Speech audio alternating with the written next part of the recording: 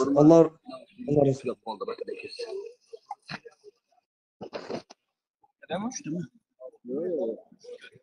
Ovoz- ovozlarda hammanikini yopinglar adminlar bironta odam qolmadi. Abdurahmon o'shani ketib qoldimiki aylansa abdurahmon bo'lish yerda yo'q. Aylan oldiga ketgandir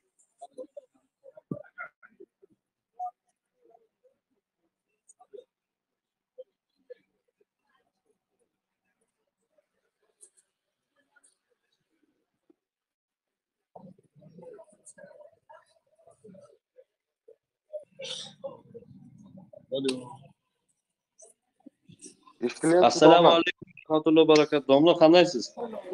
Alo ovoz eshitilyaptimi endi? Kelyapti domla yaxshimisizlar. Nima janjal bo'lyapti? Kechagi suhbat domla biz tomonidan e, xatolikka yo'l qo'yildi yo'qotib qo'yildida.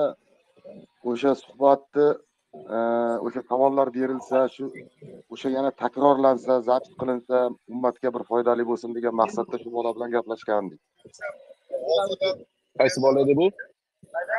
Kecha bir ikkita savol berdi bizga. Siz shu bahonada bir ikkita e, chiroyli raddiyalar suhbatlar bo'lgandida o'sha savolni bir qaytarsa bo'ladimi? Domla agar ruxsatingiz bilan. Mayli.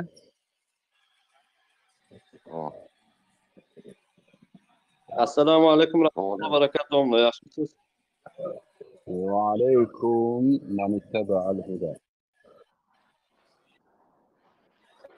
domla bitta savolimiz birinchi savolimiz. Niso sakson oltinchi oyat.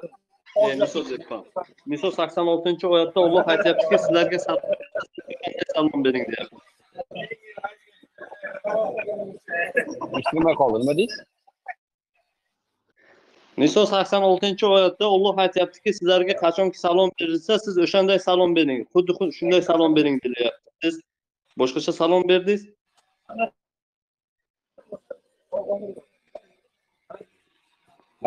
o'qishchi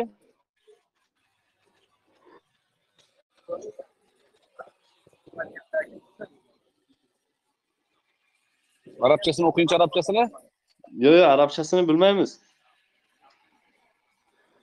bilmasangiz bitta nima qilyapsiz din arablarnikimi deymanda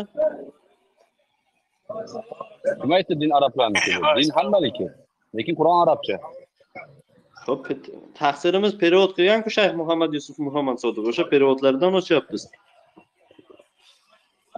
yo'q uni oddiy omma odamlar o'qib amal qilishga tarjima qilganda u kishi bahs qiladigan dinni meniki to'g'ri seniki noto'g'ri deydigan saviyada tortishadigan odam arab tilini bilishi kerak. Bilmasa bu mavzuga kirishligi to'g'ri emasda. Tortishga emas qur'onda qur'onda qur'onda qur'onda e, sunnatni in- inkor qilgan odamlarni kofir ekani ochiq aytilgan. Kofirlarga ollohni rahmatini tilab bo'lmaydi. Kofirlarga ochiq oydin e, kufrni e'lon qilgan odamlarga assalomu alaykum va rahmatullohi va barakatuh deb bo'lmaydi assalomu ala man ittaba'al huda deyiladi. Hidoyatga ergashganlarga allohni salomi bo'lsin. Kofir bo'lgan kimsalarga allohni salomi bo'lmaydi. U haqida alloh taolo qur'oni karimda bir necha o'rinlarda ta'kidlagan. Ular haqida istig'for aytmang ularga rahmat aytmang. Agar yetmish marta rahmat aytsangiz ham alloh ularni kechirmaydi degan. Kufr keltirgan odamlarni ahvoli og'ir. Bu haqida niso surasi bir yuz sakson oltinchi oyatda nima degan deyapsizda bahs tortishmoqchisiman bular bu yerda mo'minlar haqida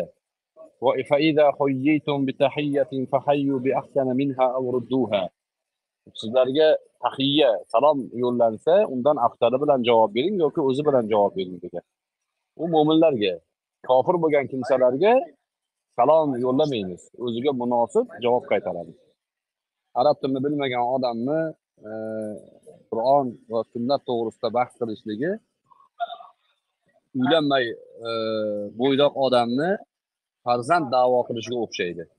Uylanmasdan farzand da'vo qilgan odam zino qilish bilangina farzand ko'ra oladi to'g'ri yo'l bilan farzand ko'rolmaydi e, harom yo'l bilangina farzand ko'radi haromi orttiradi. Qur'onni e, bahsini qilaman degan arab tilini bilmasa harom yo'ldan yurayotgan bo'ladi.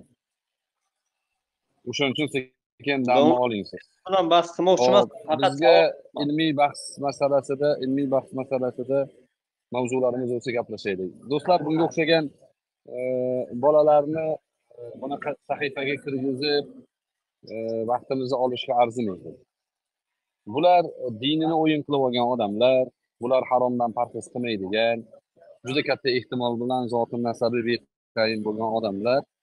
Bunaqalar bilan umrimizni o'tkazmasligimiz kerak chunki bunga o'xshagan odamlarni e, hozir savol bergan taqdirda ham kimdandir eshitib olib savol beradi. Javob berasiz javob tushunmaydi.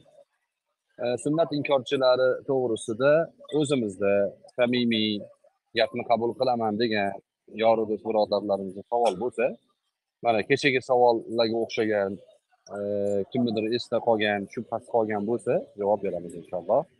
Lekin bu bolalarga vaqt ajratmanglar bu bolalarni bunga o'xshagan maydonlarda musulmonlarni vaqtga olishligi to'g'ri emas. Kimda savol bor? Alloh nasib qilsa bemalol gaplashamiz. Abdulmonon domlani ochib qo'ydim savol bormidi domla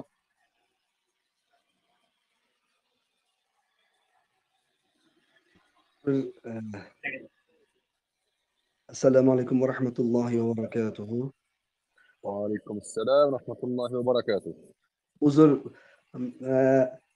man maqsadim faqat bir yaxshi suhbatlarni eshitish yaxshi mavzularda faqat shu savolim ham eshitishlik ko'proq ma'qulroq bo'lib turibdi. Bu och- oching deganimga bu savol emas e, eshitishlik maqsadida. Hop kimda savol bor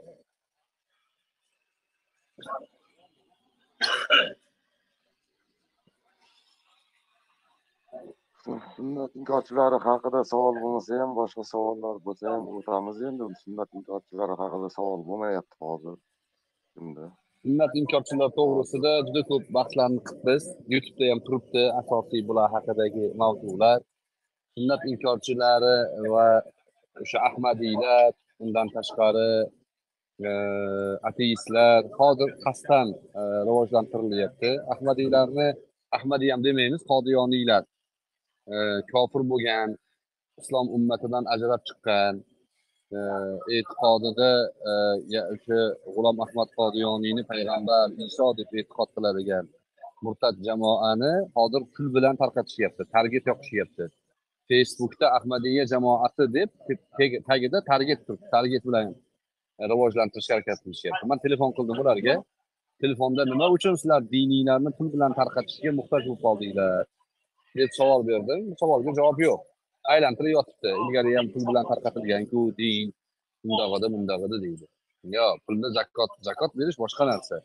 Lekin dinni tarqatishda pulni angliyadan turib olib bunaqa qilib tarqatishligi demak o'zbekiston haqida bularni e, jiddiy rejalari bor. Bu e'tiqodni chalkashtirib musulmonlarni ichini loyqalab musulmonlardagi yosh jamoani shubhaga tushirib keyinchalik shularni e, boshiga yetish rejasi bor. Hizbiylarni xuddi shundoq boshiga yetishgan. E, undan keyin salafiylarni shunaqa boshiga yetishdi. Bizni xalqimiz ichida musulmon bo'lgan jamoalarni boshiga shubha qilib o'shalarni yo qamoqda chirishligi yoki qo'liga qurol olib bir birini qatl qilishligi yoki e'tiqodidan voz kechib ateist bo'lishligi uchun e, jiddiy suratda rejalar planlar tuzilgan. Bu planlardan ogohlantirilyapmiz bizga atrofimizda yurgan ba'zi do'st ko'ringan musulmon birodarlarimiz ham burnini jiyirib qarab turardi oldinroq hozir endi ular o'zlari post qo'yyapti. Voy vo bu ahmadiylar qur'onni ham tarjima qilib yuboribdi. Voy vo qilishyapti. O'y voy vo deyayotgan musulmonlar. Sizlarga man oldin aytgan edim shuni. Bir yil ikki yil oldin aytgan edik o ko'zinglarni ochinglar voy bolalaringga ehtiyot bo'linglar. Bittasi manga sakragan edi. O'shalarni e, yaqinlari kelib o'g'li ateist bo'lib qoldi yaqini e, ahmadiy bo'lib qolibdi sunnat inkorchisi bo'lib qolibdi deb yig'lab yuribdi endi. Endi uni yig'lagani kech endi. O'shaning uchun bunga o'xshagan sharafsiz jamoalarni sharafsizligini ogohlantirib borish aqli e, hushi joyida bo'lgan musulmonlarga ularni oldindan tanitish musulmon jamoalarimizni bu haqida ilmi bor musulmonlarimizning vazifasi. Bu jamoat e, avval boshda ham aytganman faqat qur'onga ergashamiz degan davosida ham rostgo'y emas bular qur'onni ham bilmaydi. Faqat qur'onga ergashamiz degan gap sunnatdan odamlarni shubhalantirib olish xolos. Sunnatdan shubhalantirib olgandan keyin ikkinchi etapda endi qur'ondan ham shubhalantiraveradi sunnat haqida hadis haqida nimaiki shubhani olib kelsa agar o'sha hadis sahih bo'ladigan bo'lsa uni aynan o'sha varianti qur'onda ham bo'ladi. Keyin sunnatdan sizni shubhalantirgandan keyin qur'onga o'tib mana qur'onda ham bu borku bundan yomoni borku deyaveradi masalan imom muslimda rivoyat qilingan payg'ambar alayhissalotu vassalom o'zimdan keyin o'zimdan keyin. Bu ummat uchun eng katta fitna ayollari qoldiryapman deganlar. Eng katta fitna deganlar. Mana shuni keltiryapti ani bobomurod abdulla degan yumshoq shuni keltiryapti. Keyin aytyaptiki shunaqa ham hadis bo'ladimi? Ayollarni pastga urish deyapti. Pastga urish emas. Fitna kalimasini o'zbekchasiga tushuntirishga harakat qilib shubha tarqatmoqchi. A qur'oni karimda inna min azvajikum va avladikum aduwwan lakum fahdaruhum albatta juftiylar ya'ni erkakka ayol ayolga erkak. Hop erkakka ayol nisbatan shunaqa e, ta'rif turibdimi? Turibdi. Inna min azvajikum va avladikum aduwwan lakum. Azvaj kalimasi odatda xitob xotinga nisbatan ishlatiladi. Boshqa bir oyatda alloh taolo ya ayyuhan nabiy lima tuharrimu ma ahallallohu lak? Tabtag'i mardota azvajik degan. Tabtag'i mardota azvajik inna min azvajikum tabtag'i mardota azvajik bir xil. Payg'ambar alayhissalotu vassalomni ayollari haqida gap ketyapti. Bu joyda ham ayollar haqida gap ketyapti. Sizlarni ayolinglar bolalang bolanglar sizlar uchun eng katta dushman deyapti qur'on. Aduvallakum fahdaruhum. Ular ehtiyot bo'linglar deyapti. Ho'p endi muslimda rivoyat qilingan eng katta fitna ayollar degan hadisga ha bu hadis noto'g'ri ekan ayolni ham fitna deb nomlaydimi desa bu gapga ilinsa ikkinchi etapda nima deydi? Ha qur'onda undan ham dahshati bor deydi. Keyingi etapda qani dahshati? Ha mana inna min azvajikum va avladikum lakum fahdaruhum bu yerda dushman deyapti. Qur'onda e, hadisda fitna degan edi. Endi qur'onda dushman deyapti. Nima qilamiz? E qur'on ham bo'lmabdi deydi ateist bo'lib ketadi. Maqsad shu. Maqsad shu. Shu sababdan do'st- do'stlar bular o'zini qur'onga ergashamiz degan gapida ham samimiy emas bular qur'onga ergashmaydi. Man da'vo qilaman manaman degani bilan. Xoh u boshqa tildagi sunnat inkorchisi bo'ladimi? Tarjimon bilan gaplashadimi man bilan doktor professor bo'ladimi? Dunyoni ilmini suv qilib ichib yuborgan bo'ladimi? Da'vo qilaman da'vo qilaman. Qur'onni o'zi bilan sunnatga ergashishlik farz ekanligini isbotlab beraman. Qur'onni o'zi bilan qur'ondan chiqmasdan.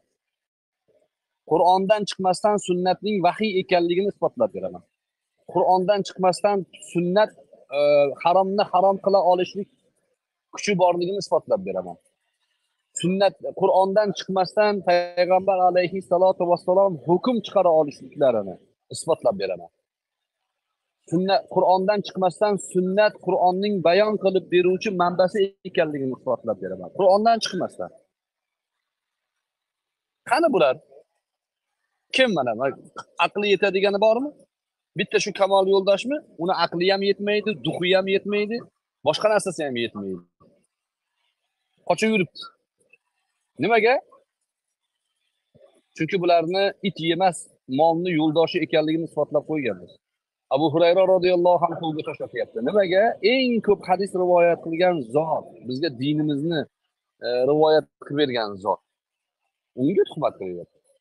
Maqsadi bularni shu islomni mana shu yo'l bilan e, loyqalash go'yoki shubha e, tug'dirish va keyingi etapda qur'onga ham ha qur'on ham mana shunaqa kitob ekan deyish. Qur'onda qancha shunga o'xshagan shubha uyg'otishi mumkin bo'lgan ateistlar iymon keltirolmaydigan jumlalar bor. Qur'onga ham ateistlardan ko'p eshitgansiz. Mana bu oyatga nima deysizlar tog' oyatiga nima deysizlar temir oyatiga nima deysizlar ular tushunmagan bo'lsa qur'onda ayb emaski bu sunnat inkorchilari tushunmagan bo'lsa hadisda ayb emaski sanlar tushunmayapsan. Uni tushuntirib beradigan bizda manbamiz bor. Hozir qur'onni o'zi yetarli deyapti. Bir oyatni aytsangiz nima deyapti? Ha buni bunday tushunilmaydi boshqacha tushunamiz deyapti. Nimaga uni boshqacha tushuntiryapsan? Qur'on ochiq oydin ediyu nimaga qur'onni aynan bir xil tushunmayapmiz? San boshqacha tushunyapsan man boshqacha tushunyapman. Ha unaqa da'vo unaqa hujum qur'onga ham bo'laveradi. Ishitni da'vo qilishadi. Hech hamda ishit eshitmish sunnatga ergashib ishit bo'lgan emish hech ham eshit sunnatga ergashib ishit bo'lmagan. Eshit qur'onga ergashib eshit bo'lgan. Qur'ondan noto'g'ri mafhumni chiqargandan keyin eshit bo'ladi daish bo'ladi odam o'ldiradi. Qur'onda taqtulul mushrikina haythu vajattumuhum mushriklarni qayerda topsanglar o'ldiringlar degan. Kofirlarga qarshi qitol jang qilinglar degan. Bu oyatni o'zini o'qib olib o'zi xohlagan ma'noga burib olib mana shu oyatga ko'ra man qotillikni savob deb bilaman deyapti. Hadis hadis ularni to'xtatadi. Birinchi chiqqan havorijlar qur'onni ushlab olib hazrati alini kofir deganda ibn abbos ular bilan bahsga borganlar. Bahsga ketayotganlarida ali aytganlarki san ular bilan qur'onni o'zi bilan bahs qilma deganlar. San ular bilan qur'onni o'zi bilan bahs qilma. Nimaga? Innal qur'an hammalun zu vujuh deganlar. Qur'on bir qancha vajhlarni ko'tara oladi. Qur'ondan odam xohlagan ma'nosini chiqara oladi. Agar niyati buzuq bo'lsa qur'ondan e, mast qiluvchi ichimliklarni halol qilib olishi mumkin. Madaniyatini o'rgatdi qur'on e, deb teskarisiga sababi nuzulni teskarisiga o'qisa e, mast qiluvchi ichimliklar joiz bo'lib qoladi. Qur'oni karimni aynan o'zi bilan cho'chqani go'shtini halol qilib oladi. Nimaga? Yog'ini halol qilib oladi. Nimaga? Chunki qur'onda cho'chqani go'shtini haromi lahmal xinzir degan. Samanal xinzir demagan. Ha? Go'shti harom. Ha demak uni terisi yog'i u narsadan ishlatsa bo'laveradi deydi. Agar qur'onni o'zini odamlarni qo'liga berib qo'ysangiz nimalarni chiqarib olmaydi? Nimalarni? Qur'on hammalun vujuh. Qur'onni bitta oyatini o'nlab ma'nosi bor. Hatto ali aytganlar bitta oyatga mingta ma'no ayta olaman agar olloh umr bersa o'lgunimga qadar ham aytaman birinchi aytgan ma'noyim ikkinchisidan farq qiladi degan. Shunaqa ma'no ko'taradigan qur'on. Shunaqa ko'taradi ma'no. Ha buni odamlarni qo'liga berib usulsiz holda mana olib o'qiyver desa endi ayniqsa hozirgi mana abduga o'xshagan e, ya'ni sharlatan bolalar kirib olib man tafsirni o'zbekchadan o'qiyman desa dinni dinligi qoladimi? Maqsad shunaqa bular dinni jiddiyatini haybatini yo'qotmoqchi. Buni asl manbasidan uzib olib uni quruq bir narsaga adabiyotga tarixiy asarga aylantirishmoqchi. Uning uchun atrofdagi butalarni kesishmoqchi ildizlarini quritishmoqchi quritolmaysanlar alloh taolo o'zining ne'matini o'zining dinini g'olib qiladi. Allohning rejasi amalga oshadi. U rejani yo biz bilan amalga oshiradi yoki bizni yo'qotib bizni o'rnimizga e, allohga itoat qiladigan malomatchining malomatidan qo'rqmaydigan jamoa bilan amalga oshiradi. O'shaning uchun bu joyda man dinga xizmat qilyapman man bu e, jamoaga qarshi chiqyapman degan gaplarni da'vo qilmaslik kerak. Man zimmamga kelgan vazifamni qilishim kerak. Qilsam alloh taolo biz bilan amalga oshiradi uni. Agar qilmasam meni o'rnimga boshqasini keltiradi. sizni o'rningizga ham boshqasini keltiradi lekin aniqki alloh taolo o'zini dinini g'olib qiladi هو الذي أرسل رسوله بالهدى ودين الحق ليظهره على الدين كله ولو كره الكافرون kofirlar yoqtirmasalar ham alloh taolo dinini payg'ambar yuborib boshqa dinlardan g'olib qilish uchun yubordi vallohu mutimmu nurihi valau karihal kafirun kofirlar yoki mushriklar yoqtirmasalar ham olloh o'zining dinini tugal mukammal qiladi. Bu sunnat inkorchisi bo'ladimi? Uni orqasida turgan e, ularni orqasiga cho'pak tiqib olib o'ynatayotgan e, marinetkalar bo'ladimi? Bularni birortasining aqli yetmaydi. Qur'onni himoya qiladigan sunnatni himoya qiladigan islomni himoya qiladigan insonlar chiqaveradi. Alloh taolo chiqaradi ularni. Hop tushunarliga o'shaning uchun sunnat inkorchilari puf desa uchib ketadigan odamlar lekin pul bilan e, siyosiy dastak bilan harakat qilishyapti. Sodda yosh bolalar ularga aldanib qolishligidan umidlari bor. Lekin biz to jonimizda tanimizda jonimiz turar ekan alloh oxirgi nafasimizga qadar bu botil jamoalarga qarshi turishlikka ont ichganmiz. Bu ahdimizda bu e, ontimizga vafo qilishga alloh taolodan tavfiq so'raymiz hop.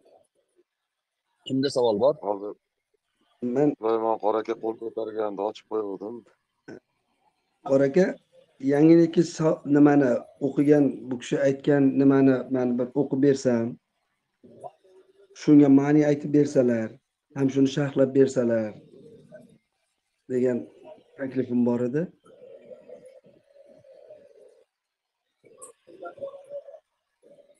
nima u qaysi nimani deyapsiz tushunmadim anom o'ttiz sakkizinchi oyat nima nima ma'noda وما من دابة في الأرض ولا طائر يطير بجناحيه إلا أمم أمثالكم. ما فر ما فرطنا في الكتاب من شيء ثم إلى ربهم يحشرون. صدق الله العظيم. Shuni dalil qilib ko'tarib kelishibdiki faqat kitobga hech narsani qo'ymay yozganmiz deb dalil qilib ko'tarib kelishibdi. Shunga sharh aytib qo'ysalar deb. Endi buning uchun arabchani bilgan odam bilan gaplashish kerak edi. Siz buni o'qib beryapsiz. Qur'oni karimda e, e, ya'ni biz mutashobih oyatlarni nozil qildik degan oyat ham bor. Ba'zi joyda bu e, ba'zi joylarda umuman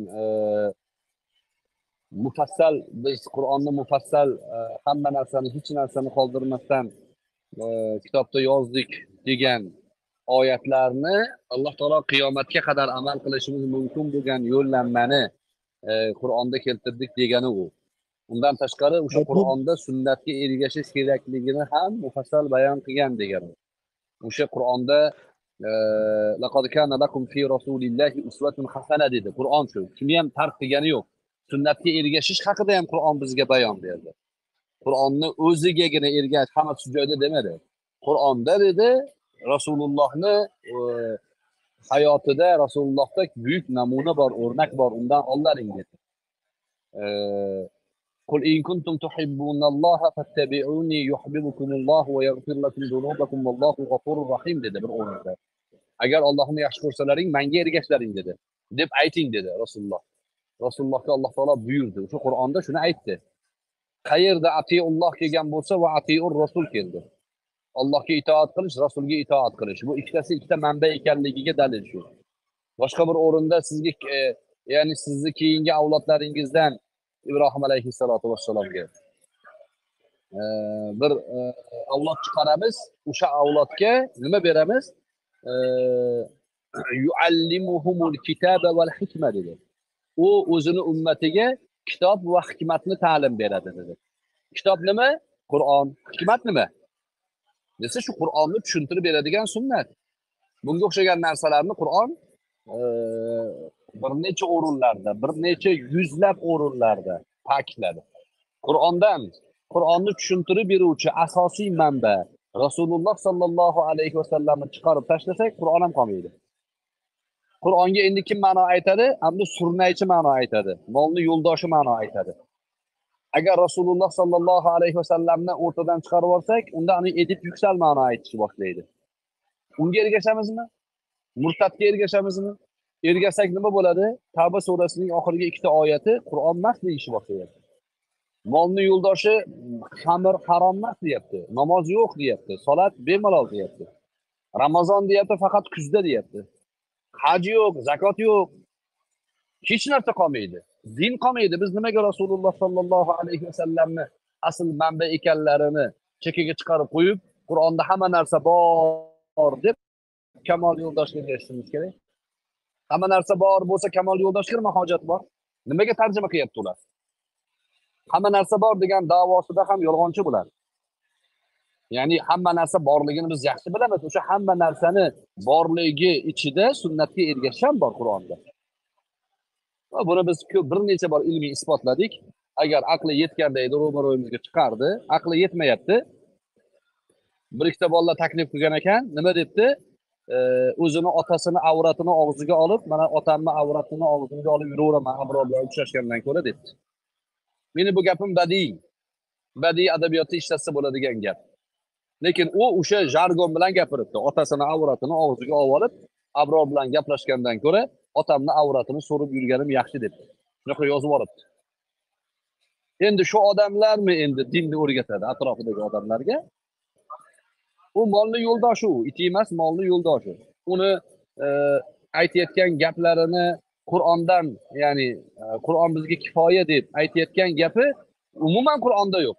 Faqat o'zini gapini gapirgan. Savol bersangiz o'zidan ma'no manaqa bu oyatni ma'nosi bunaqa buni manaqa tushunamiz deb o'zining gaplarini gapiryapti ho'p qur'on kifoya qilsa seni gapingga nima hojat bor? Qur'onda hamma narsa turibdi ekan ho'p unda nimaga tafsir aytyapsan nimaga ma'no aytyapsan? Bu savolga javobi yo'q bularni demak qur'onda hamma narsani bayon qildik degani sunnatga ham ergashib bayon qildik degani. Tushunarlimi rahmat alloh rozi bo'lsin. Bor aka rahmat alloh rozi bo'lsin. Yana nima savolimiz bor? Yodgorbek degan yigitni ochib qo'ydim. Assalomu alaykum rahmatullohi va barakatuh. Ayyomlar muborak bo'lsin domla alaykum assalom rahmatullohi va barakatuh domla shu e, islom tarixini jamlashlikda yoki qur'oni karimni sahobalar tomonidan jamlashlikda oyatlarda jamlashlikda sababi nuzullarga sababi nuzullarini hadislar orqali olamiz. Shu orqali qur'on jamlanadi. Agar ular hadislarni rad etadigan bo'lsa bu qur'on qanday kelganligini ular isbotlashi mumkin? Biz hadislar orqali sahobalarni shu paytda yashagan sababi nuzullar orqali olamiz. Shunda ular qur'onni ham rad etishga tayyor bo'lishi kerak? Yoki yo'qmi shu? Yo'q mumkin emas mumkin emas bular e, qur'on hozir qo'limizdagi qur'onga ham shubha uyg'otishligi aniq. Hadislarga shubha uyg'otishdan ko'zlangan maqsad asli kelajakda qur'onga ham shubha uyg'otish degan gapimni ma'nosi shu. Chunki biz agar e, qur'onni qabul qilamiz hadislarni qabul qilmaymiz desak unda ikki yuzlilik qilgan bo'lamiz. Nimaga? Chunki qur'onni bizga yetkazgan silsila hadislarni ham yetkazgan. Hadislarda yolg'on gapirgan bo'lar degan gapni agar qabul qiladigan bo'lsak ular demak qur'onda ham yolg'on gapirgan bo'lib chiqadi. Hadislarga qilingan ta'nani hammasi birga bir qur'onga ham qilinadi bunda. U sababi nuzul bilan emas qur'oni karimni bizga yetib kelishi ikki xil yo'l bilan yetib kelgan. Bittasi rasmiy yozuv yo'li bilan ikkinchisi yoddan yetib kelyapti hozirga qadar. Yoddan. Qorilar qur'onni o'zidan qur'onni yodlab olmaydi. Hech bitta qorini ko'rmadim umrimda. Qur'onni o'zini kitobidan yodlab olib man qoriman deb yurgan edi qori deb e-, e'tiborga olmaydi. Birorta ulamo kitobdan qur'on yodlab olgan odamni qori hofiz demaydi.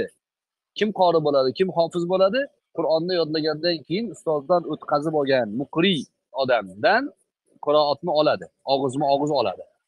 Og'izma og'iz. O'qib beradi bu eshitadi qabul qiladi keyingiga o'tadi. Ana shu qiroat silsilasi tirik holda bizgacha yetib kelyapti. Asl qur'on shu. Yozuvdagi qur'on rasmiy qur'on. Yozuvdagi qur'ondagi ba'zi oyatlarni o'qib tajvidini chiqara olmaydi ma'nosini chiqara olmaydi bu yerdagi oyatni e, ya'ni anaqasini to'g'ri talaffuz qila olmaydi yozuvda. Undan tashqari qiroatni o'n o'n xil qiroatni to'plagan. Imom jazariy shotibiy u sakkiz xil qiroatni jamlagan qiroatlar ko'p. Eng mashhuri hafs an asim butun dunyoda mashhur. Undan tashqari kisoiyni qiroati bor sho'bani qiroati bor hamzani qiroati bor. Bu qiroatlarni hammasini e, ham qur'on deyiladi mutavotir ular ham. Ularni inkor qilib bo'lmaydi. Buni bilmaydi qur'on e, inkorchilari qur'on bizga san'at orqali yetib kelyapti hadislar orqali emas. Qur'onni jamlanishi u e, mushaf mushaf jamlanishi e, haqidagi rivoyatlar ha hadis orqali bo'ladi. Va bular e, yuqorida aytdim gapida samimiy emas. E, Qur'oni karimda namoz yo'q namozni qayerdan o'rganamiz degan savolga ming mingtasi ming xil javob bergan bularni. Bittasi nima deyapti? Majusiylardan zardushtiylardan olingan deyapti. Hadisni inkor qilyapti zardushtiylarni rivoyatini qabul qilyapti. Yana bittasi yahudiylardan olingan deyapti. Hadisni inkor qilyapti yahudiylarni rivoyatini qabul qilyapti. Bular shunaqa nosamimiy odamlar nosamimiy odamlar. O'zlariga ma'qul bo'lgan e, ma'no uchun hamma narsani qurbon qilib yuboraveradi. O'ziga ma'qul ma'noni topsa bo'ldi. O'shaning uchun nafaqat sababi nuzul balki qur'onni qiroat san'atidan ham uzoq bo'ladi. Hadislar hatto fiqh bizga san'at bilan yetib kelyapti. Abu hanifa rahimaullohning fiqhi san'at orqali yetib keladi. Aqida san'at orqali yetib keladi bizga. Balog'at san'at orqali yetib keladi. Hadislar san'at orqali uni mafhumi san'at orqali yetib keladi. Qur'on zotan ham yozma ham og'zaki san'at orqali bizga yetib kelgan. Bu san'atga qarshi bitta ikkita bunga o'xshagan tupoy odamlar chiqib olib e, puflashi quyoshga qarab quyoshni o'chiraman deb puflashiga o'xshaydi. Bularni ya'ni ahmoqligi e, shunda to'g'rirog'i qolif to'g'roq degan maqol bor arablarda hammaga xilof gapni gapirsang tanilasan degan gap. O'sha odamlarga tanilish uchun hech kim aytmagan gapni gapirib yuribdi xolos bo'ladi. To'g'rirog'i o'shaqa gapni gapirib o'ynash qidiryapti. Masalan kamol yo'ldoshni aniq bilamiz o'ynash qidirib shu ishni qilgan. Chunki birinchi qo'shtirnoq ichidagi turmush o'rtog'i buni haydagan ko'chaga solgan.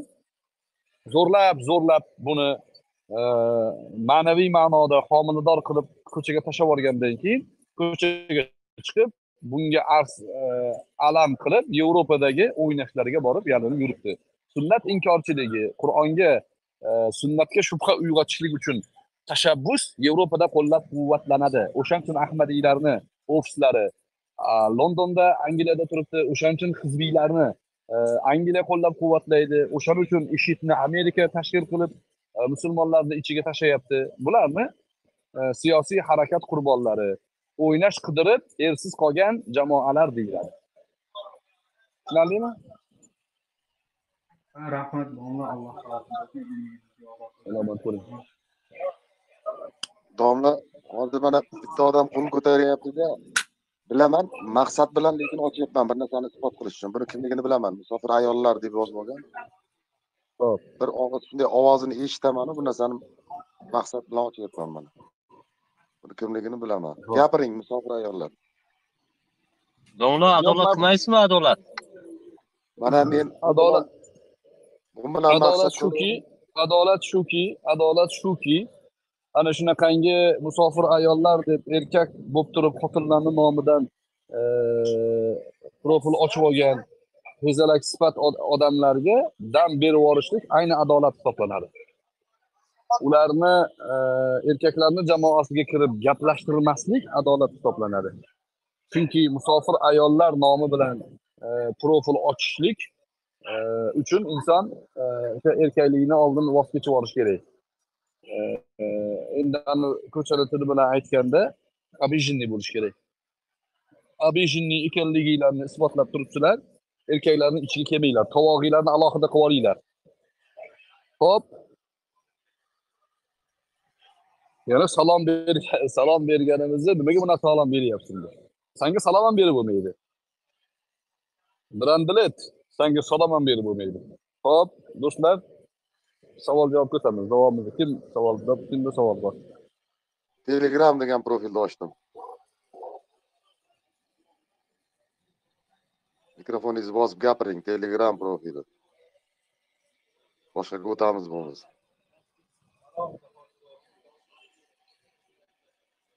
ho'p sulaymon qora aka siz boya qo'l ko'targan edingiz sulaymon qora aka sizga savolingiz bormidi السلام عليكم ورحمة الله وبركاته alaykum assalom rahmatullohi va barakatuh ustoz yaxshimisiz alhamdulillah e biz duo talab edik ustoz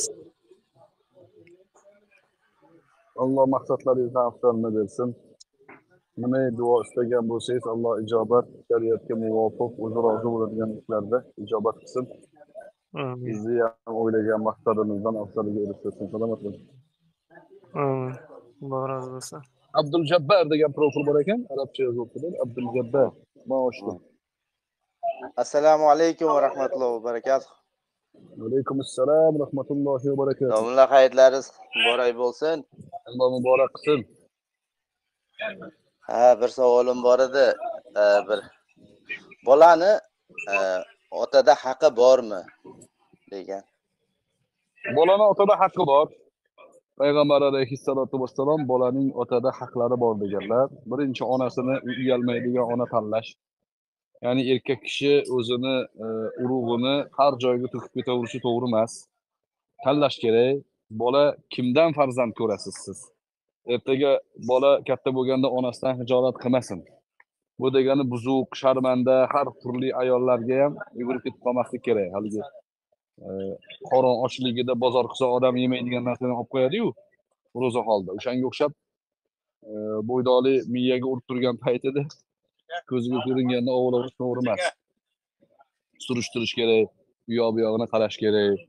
O'sha ayolni tanlash otaning e, bola e, bolaning otadagi haqqi keyin u bolaga tug'ilgandan keyin ism qo'yish bolaning otani zimmasidagi haqqi. Undan keyin e, qur'on ta'limini o'rgatib o'zi bilmasa o'rgatadiganga olib borib o'rgatib qo'yish keyin uylantirib qo'yish bolani haqqi bo'ladi. Go'zal ism qo'yish ham bola otani haqqi bo'ladi. Go'zal ism qo'yishlik otaning haqqi. Mana shu haqlarni ado qilib to'g'ri go'zal odob bergandan keyin otaning bolani ustidagi haqqi e, ado qilinmas darajada bo'ladi. Hazrati umar roziyallohu taolo anhuni oldilariga bir bola otasidan shikoyat qilib keladi. Shikoyat qilib kelganda uni urishadilar otadan ham shikoyat qilasanmi? Otani haqqi shunaqa bunaqa bunaqa deb rosa gapiradilar gapirganlarida ey amiral mo'minin otamni mandagi haqlarini man bildim bilaman lekin meni ham haqqim bormi otamda? deydi. Deganda bor deydilar. Nima haqlarim bor? Ismingni go'zal qo'yish kerak. Seni onangni san uyalmaydigan ona qilib tanlash kerak. Insonga ta'lim berish kerak deydilar. Deganlarida meni deydi bir g'alatiroq xotindan ko'rgan undan tashqari ismimni ko'rshapalak qilib qo'ygan ko'rshapalak. Qur'ondan bir bir og'iz ta'lim ham bermagan deydi. Shunda haligi otani chaqirib bolang sanga oq bo'lmabdi san bolangga oq bo'libsan deganlar. Shunaqa ma'noda haqqi bor. Lekin e, imom shofiy aytadilarki e, farzand ota onasini qoziga shikoyat qilishi mumkin emas. Hazrati umar davrida shikoyat qilgan u. U o'sha bizga dalil bo'lishi uchun nojoiz ekanligini bilishimiz uchun bo'lgan hodisalar e, shikoyat qilsa bo'ladimi farzand otaning ustidan qoziga desa shofiy imom shofiy aytdilarki otani emas uni kavushini ham shikoyat qilmaslik qilolmaysan degan lekin mana haqlarini ado qilish kerak. Har bir odam o'ziga mas'ul bo'lgan masalasini ado qilib qo'yish kerak. Tushunarlimi? Qo'shimcha so'rasam bo'ladimi shunga tegishli? Ho'p ota bolani uylab qo'yishlik vazifasi yo'q a bor. Uylash vazifasi ham bor bo'ldi alloh rozi bo'lsin domla. Qilgan ibodatlaringizni alloh dargohda qabul qilsin. Rahmat. Amin rahmat. Sog' bo'lish.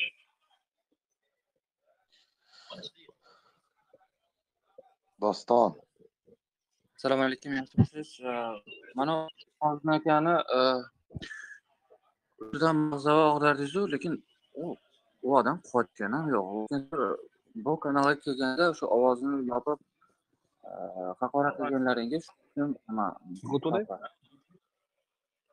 uzilib qolyapti ovoz kim bu nima tushunmadim nima deyapti bu odam bu hayotdan xafa ekan buni yopamiz bundan sonra bundan sonra deb o'rgatyapti hayotdan doktor asilbekni ochamiz bu hali qur'oniy hali deist bo'lib yuradigan bola bo'rtding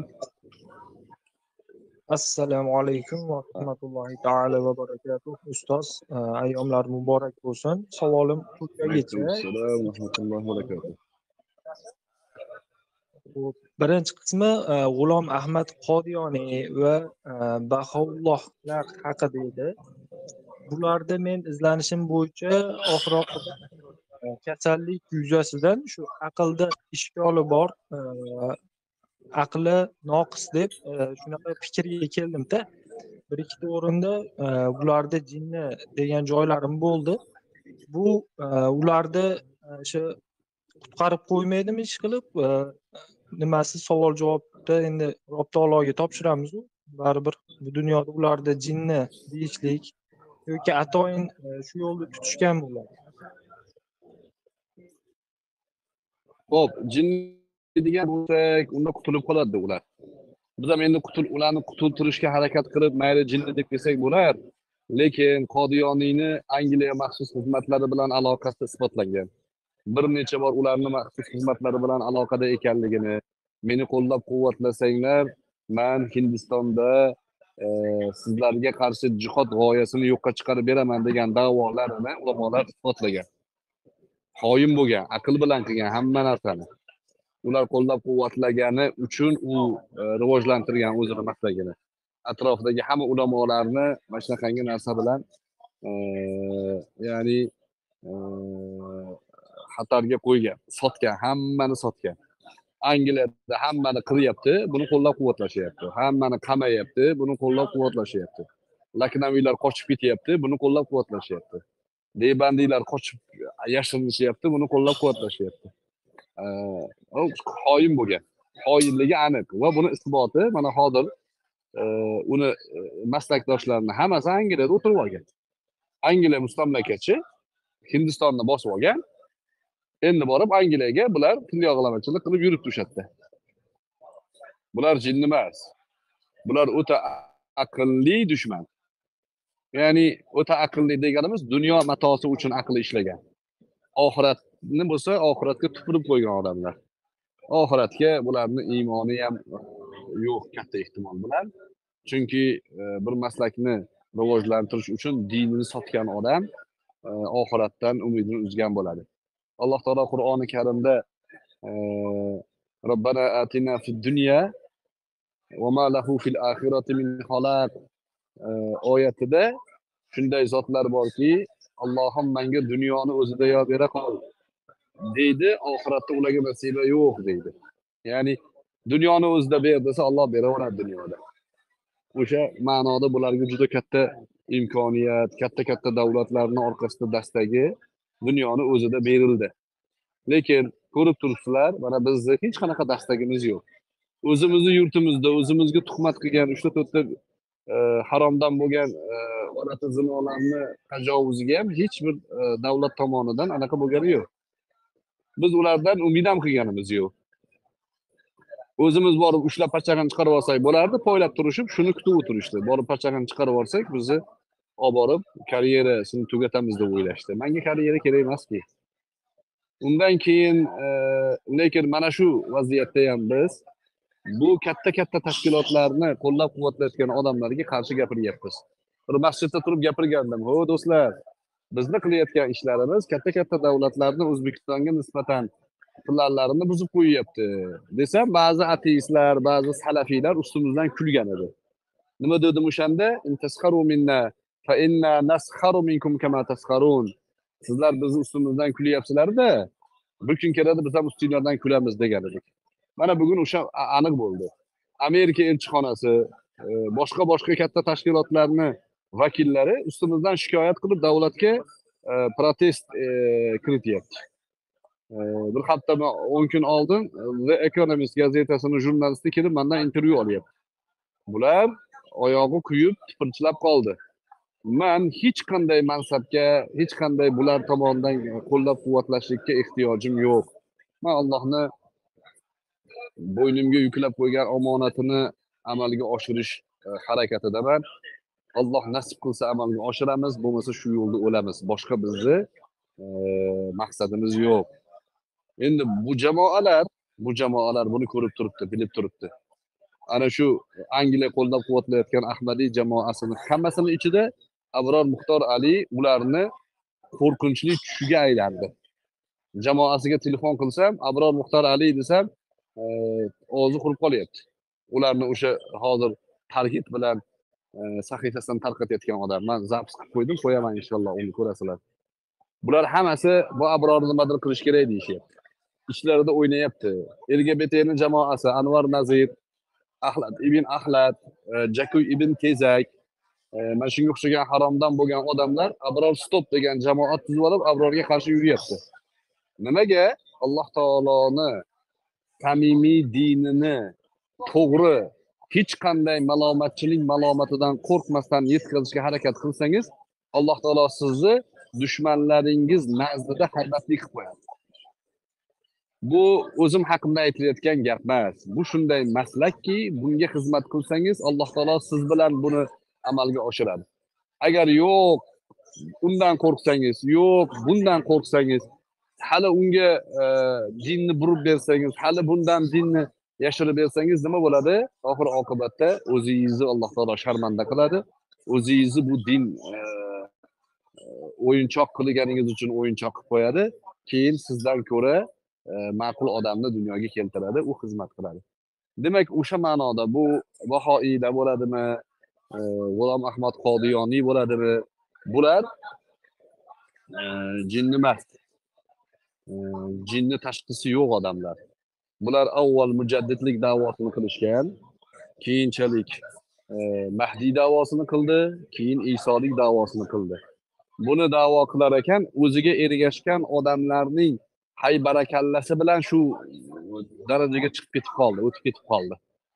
Bo'lmasa e, iymoni salomat bo'lsa mujaddidlik da'vosida turaversa ham bo'laverardi atrofidagi ulamolar e, buni unaqa ilmli odam emasligini ma'nolarni noto'g'ri tushunayotganligini aytgani uchun ularga qasma qas e, mustamlakachi kuchlarga xiyonat e, da'vosi bilan ya'ni va'dasi bilan amal qilib mana shu darajaga yetib keldi.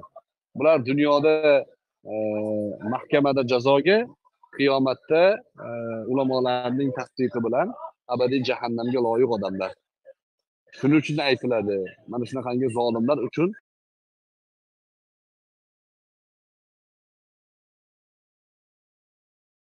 yashasin jahannamga bir necha bor. Eshitilyaptimi Ha.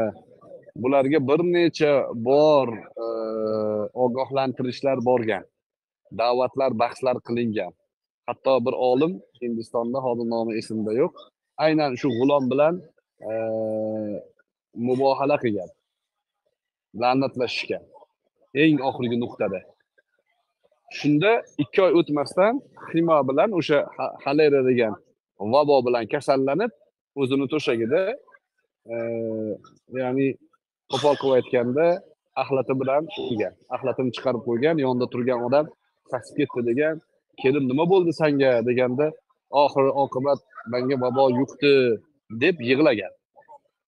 Yonida turgan odamni kundaliklari bor. Shu g'ulom haqida. Xullas e, bular bilib turib qilgan bu ishni inshaalloh oqibatini oxiratda ko'radi. Alloh taolo rozi bo'lsin. Ustoz ham e, bor edi bu e, mavzudan biroz e, e, hozirgi kunda ayni yigirma uchinchi yilda tarixiy shaxslarga nisbatan hukumat bo'htonlar bo'lyapti. Buni o'sha nozim safariy e, podkastida o'sha sharafsiz e, nozim safariy podkastida ko'rdim. Undan tashqari yana ikki o'rinlarda ko'rdim. Tarixga nisbatan hujum bo'lyapti. E, o'shani moliyaviy dastagi yoki atayin shu tariximizni yo'q qilib kelajagimizdan bizni mosuvo qilishga bo'layotgan harakat deb ko'ryapman. Shuning uchun bir iltimos o'rnida qabul qilasiz ustoz. Bir youtube platformasida bir suhbat qilishni iloji bormi imkoni bormi deb so'ramoqchiman ho'p mana shu suhbatlarni youtubega qo'yishyapti. Youtubeda jonli qilmayapmanu lekin shu suhbatlarni qo'yib e, shularni tarqatishyapti alloh nasib qilsa ularni gapiramiz. Endi nozim safariy kim u? Nozim safariy bir siyg'o bola siyib qo'yadi yoshligida ko'proq o't o'ynab qo'ygan o'shaning uchun siyg'o bo'lib qolgan. Musulmonni gapini nima qilamiz? Bir tiyinga olmaymiz. Ateist edi bir paytlar e, qaysidir odamlarni tahdididan keyin yugurib kelib yig'lab mubashshir domlani oldiga kelib musulmon bo'ldim deb turib oldi. Mubashshir domla ham soddalab qilib uni tarafini oldi. Endi mubashshir domlani ustiga chiqib yana o'sha siyqoligini qilyapti. E, yaqinda bir maqola e, ko'zim tushdi. Bular o'sha to'g'rirog'i pul olib ishlayapti deyish ham biroz bularga maqtov bo'lib qoladi. To'g'rirog'i bular o'ynash qidirib ishlayapti. Mana shunaqangi sensatsion gaplarni gapirsa tariximizga nisbatan hech kim aytmagan gaplarni gapirsa kimdir ko'ziga tushsa ular keyin buni qo'llab quvvatlab давай gazni bos deb qolishi mumkin. O'shani umidida ya'ni e, narkomanni tavbasi e, fohishani tavbasi bo'lmaydi degandek fohishaning tavbasi yangi o'ynash topguncha degandek bular yangi o'ynash qidiryapti. Oldingilari tupurib tashlashdi bularni endi yangilariga harakat qilishyapti. Endi qizig'ligi mana hozir rossiya masalasida qarangda. Rossiya masalasida prigojin degani mana bu nima edi oti? Yollanma askarlar masalasida shu tuhmatchi jamoa mana shu lgbt jamoa qo'rqmasdan e, prigojinga odam yetkazib beryapti abror bizni qo'limizda jiddiy dalillar bor deb gap tarqatishdi. Bu gapni birinchi anavi cho'chqa ibn cho'chqa tarqatdi. Tezak ibn jakuy tarqatdi. Endi o'sha gapni ko'tarib olib bobomurod abdulla o'zini youtube kanalida shunaqa deyapti. Nima? Abror muxtor ali o'shanaqangi narsalar tarq- e, yetkazib beryapti ekan. Deb prigojinni e, qotil jamoasini yollanma askarlarini terror terrorist e, odam o'ldiruvchi qotillar shunga abror sherik deyatuvdi. Qo'lda dalil yo'q.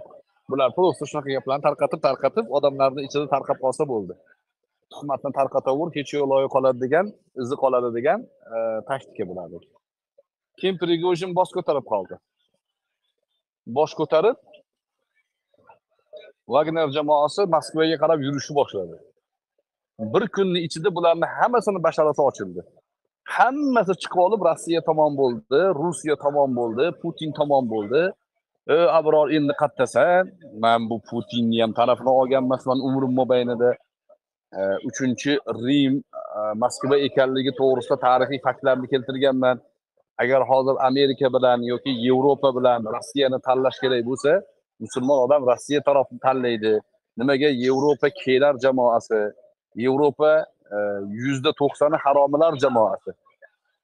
E, u joyda satanizm u joyda globalizm minglab bir muammolar turibdi. Bu degani rossiyani tanlash degani e, bizni eski tarixda bizni yurtimizni mustamlaka qilgan ateistlarni tanlash degani emas. Bizni yurtimizni mustamlaka qilgan ruslarni qo'li bilan aynan yevropa mustamlaka qilgan. Chunki leninni e, tarbiyalagan boqib semirtirgan orqasidan qo'llab quvvatlagan pavluslar pavlus bu sionizmni doddalaridan ular yevropani harakatidagi odamlar.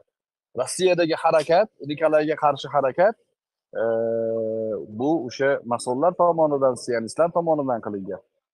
Bu bizni mustamlaka qilib ota bobolarimizni e- ezib qahramonlarni bosmachi deb e'lon qilgan tariximizni rasvo qilgan jamoa yevropaning qo'llab quvvatlagan jamoasi. Endi bular hozirgi kundagi e, biz bilan masalan yetti millionga yaqin xalqimiz o'sha joyda ishlayaptimi? Shularga e, jonimiz achishib rossiyadagi siyosat haqida gapirsak bizni putinparast putinparast deganlar bir kunda basharasi ochilib ketdi. Man prigojinga e, vagnerlarga odam yetkazib berayotgan odam edim bularni nazdida bir kunda u vagnerlarni qahramonga aylantirib qo'yishdi. Ular qahramon bo'lib qoldi. E, yevropada bir gazetada ikki kunlik maqolani qo'yishdi bittasi. Birinchi kuni maqolada e, prigojinni xalq qahramoni ozodlik kuychisi deb sallofa qo'yishgan. Ertasi kuni kelishib olib u orqaga qaytgandan belorussiyaga chiqib ketgandan keyin bu terrorist deb maqola qo'yishyapti. Bularda yuz yo'q. O'sha kuni o'sha kuni jonli qilgan odamlar man endi ko'pchilarni hurmat qilaman. Masalan azon tv mutaxassislarni olib chiqyaptida gaplashyaptida mana endi tamom bo'ldi ana endi undoq bo'lib ketadi mana endi undoq bo'lib ketadi tamom bo'ldi tamom ertasi kuni e nimaga bunaqa bo'ldi ekan deb yana maqola qilishyapti. Yana e, suhbat qilishyapti. Xullas siyosiy ma'noda ham bularning aksariyatini saviyalari minus nol.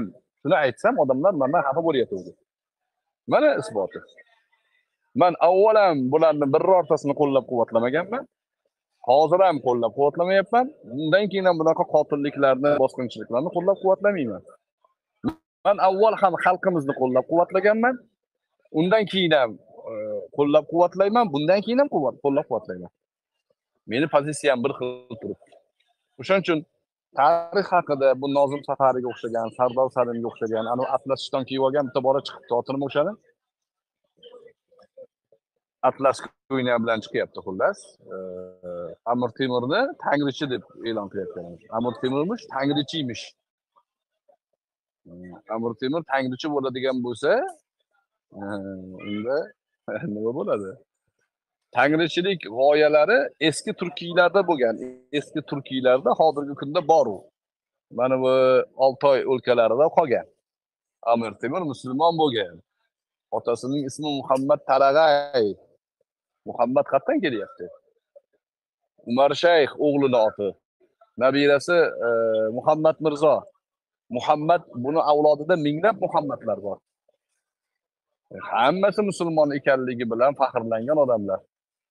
Kuch adolati degan gapni amir temur aynan hadislardan aynan qur'on ta'limotidan olgan. Temur tuzuklarida e, ta'limotlarni hadislardan olgan. Oldida ikkita alloma yurgan har doim musulmon alloma yurgan. Bittasi imom taxtazoniy e, yana bittasi qaysi alloma edi. Esimda yo'q ismlari bu olimlar e, amir temurni yonida maslahatchi bo'lgan. Ulamolariga juda ko'p hurmat ko'rsatgan. Qurgan hamma binolarida la ilaha illalloh shiorini baland qilib ko'targan. Qurgan hamma binosida. Hamma binosida oyatlar bor. Shohi zindani baland maqomda maqbarasini qurdirgan. Shohi zinda kim? Husan ibn abbos. Shomga borib qilganda yazidni qabrini toptirib yazidni qabriga hojatxona qurdirib hamma askarlarni o'sha hojatxonaga hojat o'shatishligini buyurgan. Imom hasan imom imom husaynlarni qatl qildirgani uchun mana shunday qasd olgan yazidni qabridan musulmonligida shubha yo'q buni tangrichi deyishyapti. Maqsadlari nima? Yuqoridagi ikki yuzlilik bular yuzi yo'q odamlar. Ikki yuzliligi ham hozir moda bo'lib qoldi endi. Bular olti ket odamlar. O'sha faqat o'ynash topguncha shunaqangi sensatsion gaplarni tarqatib yurishibdi qo'llaridan hech narsa kelmaydi xotirjam bo'linglar inshaalloh bularga qarshi e, propagandaga qarshi propagandamizni davom ettiramiz rahmat ustoz alloh rozi bo'lsin domla hozir anaqa yozishyapti boyagi ham deyiz ham qur'oningiz yuradigan yigit e, kamol yo'ldoshni shatiga bora oladimi o'sha yerda gaplasha oladimi deyapti. Kamol yo'ldosh man so'ramasdan aytyaptimi yo'qmi shuni so'rasak bo'ladimi o'zini ochib? Ha so'rang.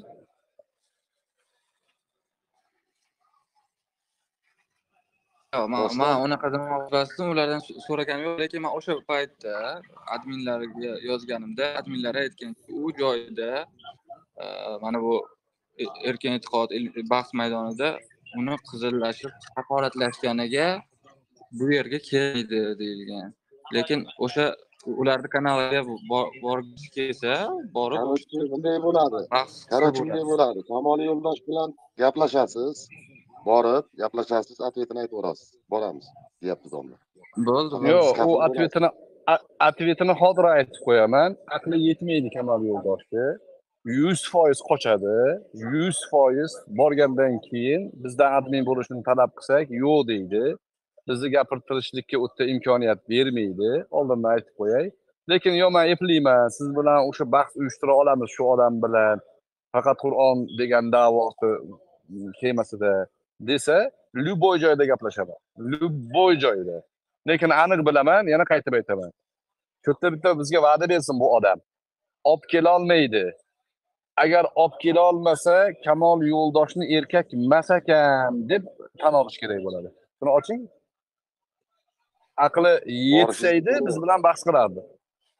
Bizni borsak ham yo borsak ham qabul qilmaydi. Yo'q bahs qilmayman deydi. Abror bilan hech qachon bahs qilmayman deydi. Chunki qilolmaydi boshqa bahona qiladi. Yuqorida aytganimdek otasini avratini e, og'ziga olib gapirishi mumkin. E, shunaqangi fosiqlik qilishi mumkin qochish uchun lekin bahs qila olmaydi. Endi bular o'shani orqasidan gap so'z ko'tarib yurishibdiyu. Ularga aytyaptiki mana mullalar qochib yuribdi mandan. Mana shuncha paytdan beri bunga javob yo'q deyaptiyu. Ana shu da'vosi bilan savol bersin. Ko'ndira olsa mana dostonmi kim bu? Mister box ko'ndira olsa man любой joyga boraman. Lekin aytaman ko'ndira olmaysizlar. Chunki abrorni ko'rganda uni e, ya'ni tuzilishi o'zgarib ketadi tillari qotib qoladi chunki abrorni ro'barosida bu bahsga ilmiy bahsga yaramasligini juda yaxshi biladi buni ozodlikda mazasini qochirib qo'yganimni juda yaxshi biladi undan keyin ikkita joyda bir ateistlar guruhida bir bahs maydonida mazasini qochirib qo'yganimizni hamma yaxshi biladi o'sha e, ozodlik radiosidagi bahsdan keyin bir maqola qo'yib savol qo'yganman. O'n yil bo'lgan bo'lsa o'n yildan beri o'shanga hali javob bergani yo'q. Buni juda yaxshi biladi. Javob bera olmasligini o'shaning uchun agar kela olmasa kamol yo'ldosh erkak emas ekan deb e'tirof qilib ketasiz mister box kelishdikmi g'aybni bilmaysizu mayli man gaplashib ko'raman adminlar bilan. Lekin o'sha uni kanaliga borish sharti bilan bo'lsa kerakda. Chunki buyoqqa ketsa baribir uni kanaliga uni kanaliga ham boraveraman. Farqi yo'q deyapmanku. Lekin u rozi bo'lmaydi. Uni kanaliga borgandan keyin u bahs qilishga rozi bo'lmaydi. Mana shu yerda o'n martalab sizga tagini chizyapman. Agar rozi bo'lsa keyin ko'rasiz bahsni qanaqaligini. Juda katta ehtimol bilan rozi bo'lolmaydi aqli yetmaydi o'shani aytib qo'ymoqchiman sizga. Siz tajribangiz yo'qdi bu haqida? Siz gaplashib ko'ring kim erkak kim bahsda quvib yuribdi kim qochib yuribdi keyin siz o'shanda bilasiz. Bo'ldi kutamiz sizni. Bo'ldi. Umarxon qora aka qo'l ko'targan ekan. Umarxon qora aka savol bormidi? Savol bor edi. Assalomu alaykum va rahmatulloh. Alaykum assalom rahmatullohi va barakatuh ustoz yaxshimisiz sog'liqlaringiz yaxshimi? Ibodatlar qabul bo'lsin rahmat. Ustoz payg'ambar alayhissalomni bir qovullari haqida so'ramoqchi edim. Man lam yataghanna bil qur'an minna yoki zayyinul qur'ana bi aswatikum degan xabarlar haqida. Shu yerda e, targ'ib e, shu maqom ilmigami yoki tajvid ilmiga bo'lyaptimi o'sha ma'noda so'ramoqchi edim. Keyin e, qur'on ilmida ya'ni hozirgi maqomlarni o'rni qanaqa darajada mumkin yoki joizmi joiz emasmi qanaqa holatlar shu haqida edi Xo'p. lam yataghanna bil Qur'an faminna yoki e, zayyinul Qur'ana bi aswatikum kabi rivoyatlar mavjud rivoyatlar. E, zayyinul Qur'ana bi aswatikum hadisni hatto ba'zi ulamolar hasan darajasida sahih e, maqomida degan. Lekin e, bu e, rivoyat imom ahmadda imom abu dovudda nasoiyda ibn mo'jada kelgan ekan dorimiyam keltirgan isnodini sahih degan ekan. Ba'zi bir ulamolar baro ibn ozibdan ekan rivoyat. Baro ibn ozib roziyallohu anhu aytgan ekanlar zayyinul qur'ana bi aswatikum. Asli zayyinu asvatakum bil qur'an. Mana shu ma'noni shunaqa aytishgan ya'ni e, sizni ovozingiz qachon go'zal bo'ladi? Sizni ovozingiz qur'on qiroat qilganda go'zal bo'ladi. Siz ovozingiz bilan qur'onni go'zal qilmaysiz. Bir narsani go'zal qilish uchun oldin go'zal bo'lmagan bo'lishi kerakda u. Qur'on zotan go'zal. Qanaqa qilib qur'onni yana go'zal qilasiz? Desa ulamolar zayyinu asvatakum bil qur'an degan. Aslida ovozinglarni qur'on bilan go'zal qilinglar. Behuda bema'no gaplardan ko'ra qur'on tilovat qilinglar degan ma'nosi bor. Bu yerda g'inoga bu yerda tarannumga urg'u yo'q. Ko'p ulamolar tarannumdan g'inodan qaytaradi. Ayniqsa suriya ulamolari qaytaradi. Misrda ko'proq bunga e, ya'ni maqomlarga urg'u beradi. Lekin Э, buni da'vat ma'nosida qiladi.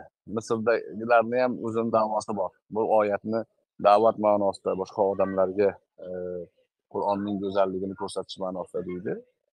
Lekin tajvid asos hisoblanadi. Agar qur'onni tajvid bilan o'qisangiz e, payg'ambar alayhissalotu vassalom abdulloh ibn masud roziyallohu anhuga e, yoki kim edi yana? Ubay ibn kab roziyallohu anhuga senga dovud alayhissalotu vassalomning mazomiri berilibdi deganlar. Go'zal o'qiganligi uchun. Lekin tajvid asos hisoblanadi. Tajvid tajvid go'zal bo'lsa e, g'unnalar o'rnida ushlansa madlar o'rnida cho'zilsa zotan qur'on o'zini g'inosi bilan o'zini tag'annisi bilan qur'onni alloh taolo ilohiy kalom ekanligini uni qiroatida ham isbotini ko'rsatib qo'ygan. Shuning uchun bu oyat bu hadislar mana shu ma'noda tushuniladi xo'roq tushunarlimi shu alloh rozi bo'lsin rahmat ustoz salomat bo'ling sunnatulloh muzaffar degan Assalomu bola alaykum. yuradi o'sha yerda katta qoldi va alaykum assalom va rahmatulloh siz haligi muzaffar deb o'yladingizmi qur'oniy ya'ni sunnat. Yo'q emas domla emas anaqasi shunaqa turuvdida profili. Muzaffar bir- birodarimiz e, sizni aynan muxlislaringizdan e, ochamiz shuni ham hozir sunnatulloh ho'p. Sunnatulloh gapiring ustoz yaxshimisiz meni bir savolim bor edi shom namozi haqida namozni eshitgandim xufton namozi kirguncha o'qisa bo'ladi masalan chet davlatlarda shom namozi ko'proq vaqt egasi bo'ladida shu shu haqida telefonga gapiring mikrofon anaqa dinamik emas telefonni o'ziga gapiring ovozingiz vakuum bo'lib kelyapti. Naushnikni olib tashlab iltimos kattaroq gapiring. Ha, shom namozi haqida shu xuftongacha o'qisa bo'ladi deb eshitgandimda shu- agar uspet qilmay qolsa to'g'ri. Shom namozi quyosh botgandan to xufton namozi kirguncha o'qiladi. To'g'ri gap. Xufton namozi kirgan zahoti shom qazo bo'ladi. Ho'p ana shuni bir salomat kishi bilan ilo qildi bahs qildik. Shu bahs qilmadiku shu aytdida shu noto'g'ri aytibdi kim aytgan bo'lsa men ancha ilo qilganman degan dedida shunga nima dedi? Shom namozi dedi shu kirgandan o'n besh daqiqada tezda tugaydi. Eng tez vaqt o'tib ketadigan shom namozi dedi. Agar o'n besh minut degan bo'lsa bekorlarni aytibdi shom namozini soat bilan o'lchash soat kashf qilingandan keyin paydo bo'lgan. Shom namozini fuqarolar payg'ambar alayhissalotu vassalomning hadislaridan kelib chiqib aytishgan. Shom qachon kiradi? Quyosh botganda kiradi qachon chiqib ketadi? Quyosh botgandan keyin quyosh botgan tarafda qizil shafaq paydo bo'ladi. Qizil shafaq yo'qolgandan keyin oppoq sutga o'xshagan oydinlik paydo bo'ladi. O'sha oydinlik yo'qolganda qop qorong'ilik tushadi keyin shom namozini vaqti chiqqan bo'ladi. Bu bizni diyorlarda bomdod namozining e, muddati bilan bir xil bo'ladi. Bizni diyorlarda shunaqa. Bomdod namozi bilan bir xil bo'ladi ya'ni muddati. Bomdod nechida kiradi masalan deylik to'rtda kirsa eh, misol uchun beshu o'ttizlarda chiqsa quyosh man farazdan taxminan aytyapman e, demak bir yarim soatmi xuddi shunaqa bo'ladi shom ham shunaqa masalan deylik shom eh, boring ana yettida kirsa eh, to'qqiz yarimlarda vaqti chiqadi go'yoki xufton kirgan zoti chiqadi ho'p tushunarlimi? Rahmat ustoz sizni anchadan beri kuzataman. Men o'zim tojikistonlikman tojikistonlik o'zbekman. Shu haqimizga bir duo qilib qo'ysangiz alloh rozi alloh tojikistonlik birodarlarni ham ishlarini rivojini bersin. Tojikistonda bo'lib turgan muammolardan tezroq ularni qutqarsin. O'n sakkiz yoshdan pasti masjidga kirolmayapti tojikistonda. Ro'molini bo'ynidan qarab o'rolmayapti soqol qo'yolmayapti. Hajga borishlik uchun ming bir yarim ming pora talab qilishyapti ko'p o'rinlarda. Talabalarni o'qitish qiyin bo'lyapti. Tojikistondagi vaziyat e, yaxshi tomonga e, ya'ni e, harakatlar ham boru lekin mana shu musulmonlarimizni huquqlari biroz qiyinchilikka duchor bo'lyapti. Tojik xalqiga mm, ularni bardoshiga alloh taolo o'zi e, kuch quvvat bersin boshlaridan bu qiyinchiliklarni ko'tarsin. Erkinliklar dini diyonatdagi amallarida muvaffaqiyat tilab qolamiz. Barcha tojik birodarlarimizga alloh taoloni nusrati rahbariyatiga alloh yo'lida qilayotgan ishlariga muvaffaqiyat e, noto'g'ri ishlarni bilib tushunib xalqini muhabbatiga qozonishlarini alloh taolo o'zi nasib qilsin. Salomat bo'ling. Muzaffar. Assalomu alaykum va rahmatulloh vaalaykum assalom va rahmatulloh. Qabul qilsin. Savol Ee, shu duo talabida biz domla ee, shu muborak kunlarda muborak joylarda turibsiz mushkulotlar ko'payib ketdi. Haqqimizga duo qilib qo'yasiz domla alloh rozi bo'lsin. Mushkulotlarimiz iltimos alloh mushkullaringizni oson qilsin. Imtihonlaringizdan yaxshi o'tish nasib qilsin.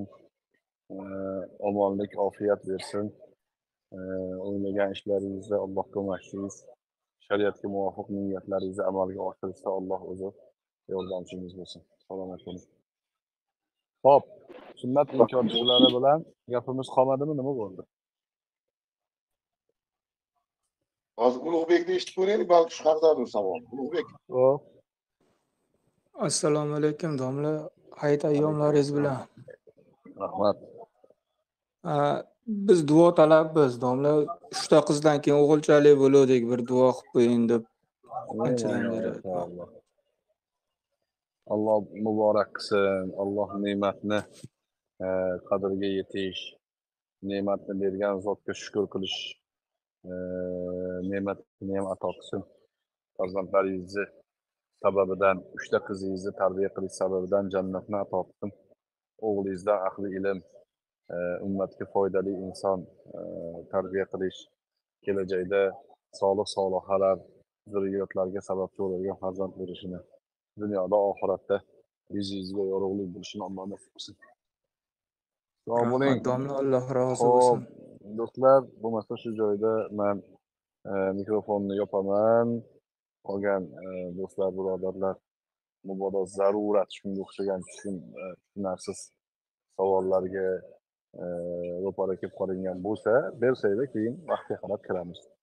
Barchalarga tashakkur. Mino maydonidamiz. Bugun birinchi toshni otib kelib minoda yotibmiz. Ertaga ertalab borib alloh nasib qilsa tavof ifozani qilib ikkinchi toshni otib alloh nasib qilsa haj ibodatlarimizni oxiriga yetkazish harakatdamiz barchalarni haqqinglarda duodamiz.